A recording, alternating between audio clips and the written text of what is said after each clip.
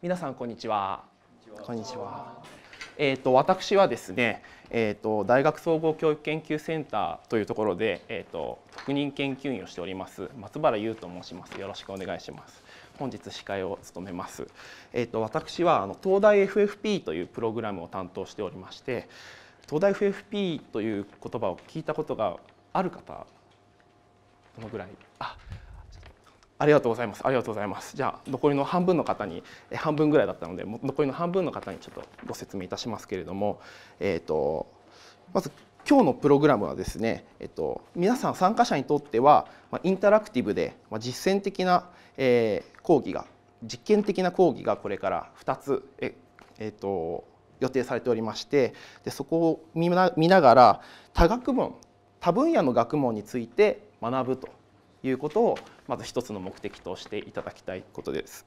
もう一つは学びを促す教育とはどういうことなのかっていうのを皆さんで考えるというのももう一つの目的として、えっと、据えています。そして講師の皆様にとってはですねこれから登壇いただくんですけれども一般の方々を対象にして30分間ちょっと長めの授業構成を経験するというのが目的となっております。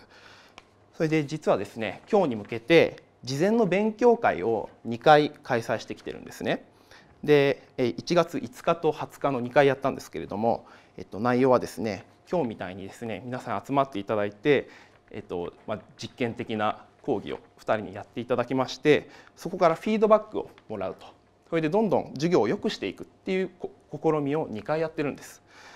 でそこに参加した方は、えー、今日みたいに一般の方もいらっしゃいます。そして、えっと、東大 FFP という最初に説明しました、えっと、プログラムのですね担当教員とあとその FFP というプログラムを修了された方も参加しています。でここで、まあ、東大 FFP とは何かということなんですけれども、えーと、東京大学フューチャーファカルティプログラムというのを略して東大 FFP と呼んでおります。でこれは、えーと東京大学にあるですね教育方法を学ぶ授業なんです。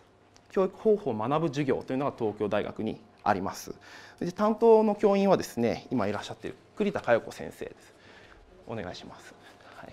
栗田先生が、えっと、担当になりまして2013年から開始されてます。で毎年100名が授業終わって終了していくという授業になってます。でここには、えーと、いろんな学問の分野の大学院生とかポストドクターとか若手の教職員の皆様が集まりましてインタラクティブな授業展開をしています。で最後には公式の証明書あの履修証明書も発行されるというふうになっております。ミレクチャープログラムの今日登壇されてる登壇される講師も FFP を修了しているとつまり大学で教えるということについて学んだ方々なんですね。でまあ、どういうことを学ぶかと言いますと、まあ、高等教育の現状はこうなってますとかシラバスはこうやって作成するんですよとかで模擬授業も6分間のものを短めですけれどもやるというのがもうコンテンツに入っております。でまあその皆さんの満足度を聞きますとね修了生の満足度を聞きますと90%以上の方が満足しているとこの濃い緑とこの緑のところですね満足しているというふうに言っていただきましたし是非他の人にも参加してみてほしいというふうに、えーと、言われております。えーと、意識や行動に変化がありましたかということもあの修了生に伺ってるんですけれども92%の方があったというふうに回答いただいてます。で、えーと、今受けている授業自分が受けている授業が先生の立場からこう見えるようになったとかあとは自分が目指す大学教員像を具体化できたとか、まあ、そういういろんなことを頂いてましてで実は教育だけじゃなくて自分の研究も改めて理解することにつながるっていうような効果ですとかあとは違う、え分野の多分野の学問の皆さんに会うことができるネットワークを作ることができるというような違ったメリットも、えー、といいております。でまとめますと東大 FFP というのは実践的な教育力を向上させるプログラムなんですね。はい、で本日の講師は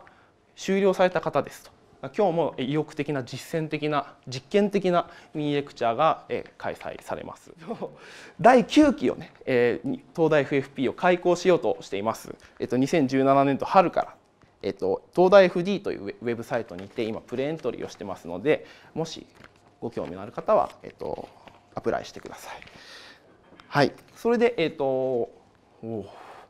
そうこれが超大事ですこれが超大事これだけ出ればいいや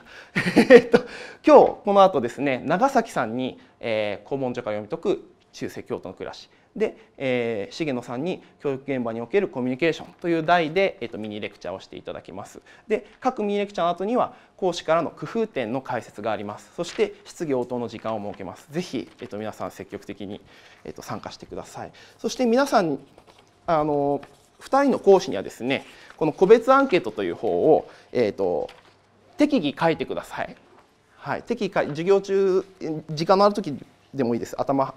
他に働かせない時は書いてもいいですしその後質疑応答の時に自分が質問してない時に書いてもいいです。最後に、えっと、ご本人たちに返しますのでぜひこれ、えー、書いてください。それでは私から、えー、趣旨の説明でした。ありがとうございます。